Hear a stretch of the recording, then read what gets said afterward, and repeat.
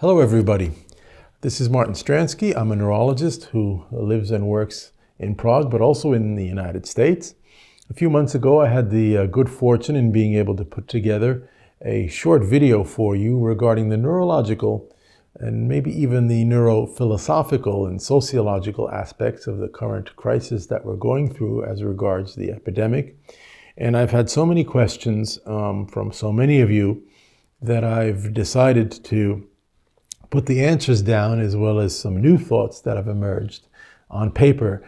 Uh, so I hope you don't mind me uh, reading a little bit, and uh, perhaps you'll find uh, something of what I have to say useful.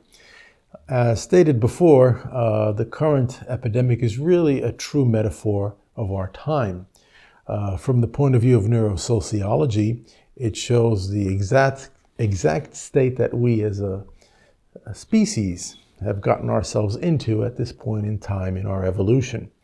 Uh, as to the virus itself, it seems to have been created due to the constant encroachment on the ecological boundary between us and animals.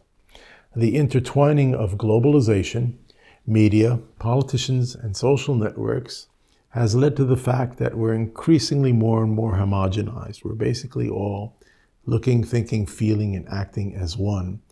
And our culture has changed to prioritize reward, entitlement, profit, and growth at all costs, uh, which of course has psychological consequences, which, in my opinion, have reached unprecedented proportions, especially when one looks at our current reaction to the crisis as compared to other threats that we're facing. Just for comparison, last year 970,000 people died of HIV. Over a million people died of malaria, including 3,000 children per day, and another 780,000 died of hepatitis, a million and a half people of tuberculosis. All of these are infectious diseases, and all are preventable. The current crisis, with a million deaths worldwide, represents roughly 0.01% of the world's population but it's shaken the global economy to its knees at an unprecedented rate and scope. It's caused massive social discord. Yes, the numbers will rise. Yes, it's a serious crisis, and every life has immense value. But this too shall pass, hopefully, very soon. So let's take a look and see what's going on. There's been multiple opinions as to how best to deal with the crisis, and I've been asked many questions and I'm going to read the most frequent of them to you and then show you where you can find the answers to them.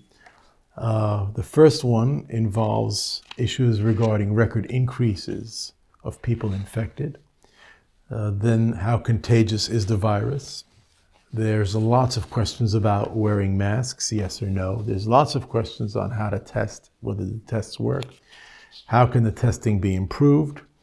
Um, and even uh, if I don't get bad symptoms, how bad can it be for me? How dangerous is the virus?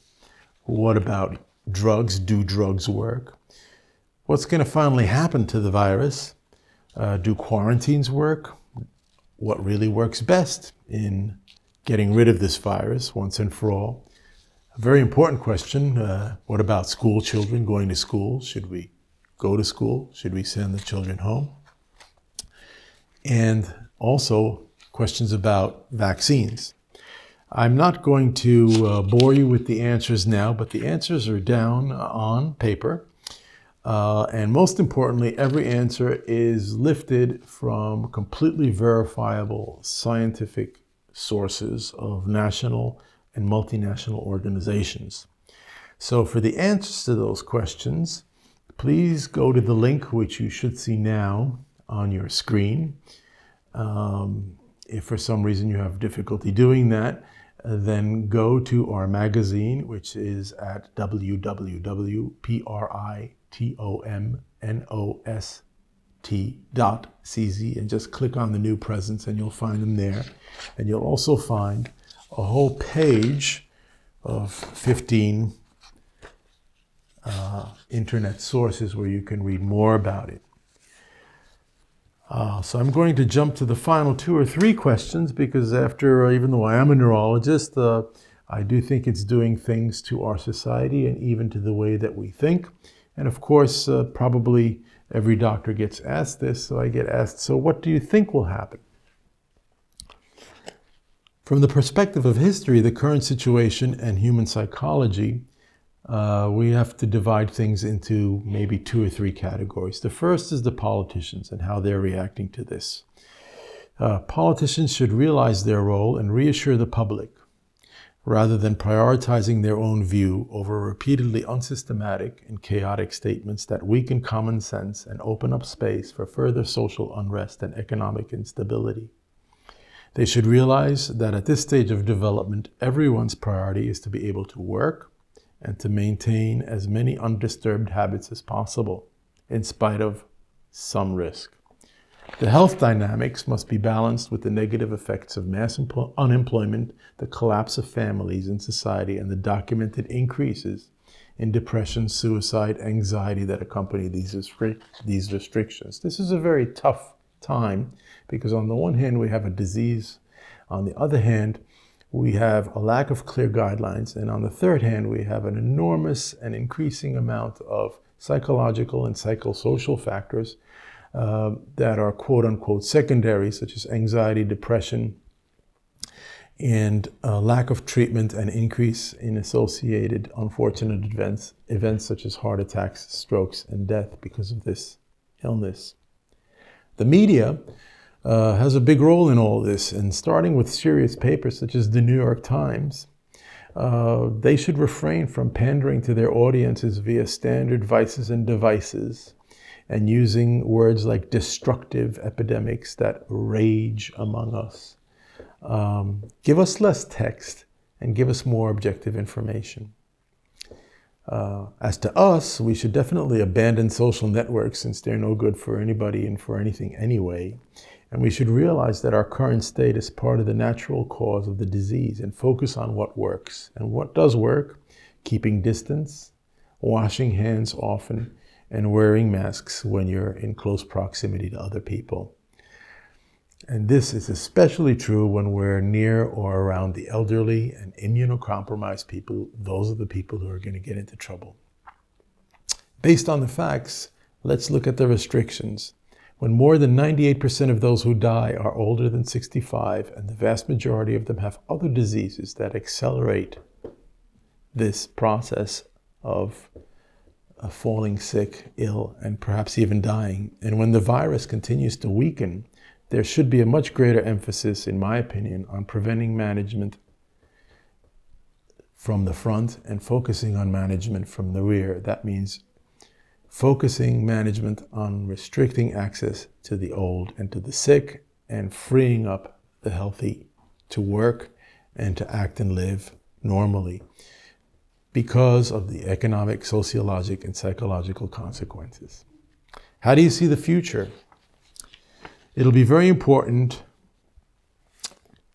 that this crisis somehow or another end as soon as possible because, on the one hand, like other viruses, it's nothing new as a virus, but on the other hand, this crisis is something new. And it was created by three unique factors merging for the first time. The first is that in more than 50 years, we've never had true global threat, such as a world war. This is an event that humanity has not experienced. Instead of real threats, we now face artificial threats. This has led and is leading to the emergence of false priorities and a culture of entitlement and expectation. The second is absolute media interconnectedness in a digitalized world. And the third is that despite this interconnectedness, we are paradoxically becoming disconnected, one person from each other, due to our inability to resist digital thinking and its related addictiveness and convenience. Into this scenario comes an illness which, based on current psychological reactions and feelings, has managed to destabilize and dominate all vital aspects of our daily function such as economy, travel, and work. This is an unprecedented and critical change for mankind, which can lead us into a serious departure from our evolutionary neurological abilities and transform us into an intellectually oppressed herd under the control of Big Brother. The evolutionary priority of our brains is based on direct interpersonal communication and on dealing with problems face to face. But direct communication is being replaced by a flood of unverifiable messages and chaotic and sometimes manipulative statements from a variety of so called experts and leaders. The result is a fall into simplistic black and white reasoning with ensuing frustration and anxiety. Physical separation via restrictions only supports this, especially as regards home office, becoming a new phenomenon and children having to leave their peers and stare into a computer from home. What's comfortable may not be good in the long run. Finally, taken from a broader perspective, the question is why are we paying so much attention to the crisis, which still remains far below the list of preventable deaths as compared to other causes? Understanding the answers to this question will be what will determine our future. I myself am convinced that after this crisis is over, and hopefully it will be soon, it will be discussed in terms of its sociological, psychological, and economic impact on society, rather than on its medical aspects. Good luck to all of us. Thank you.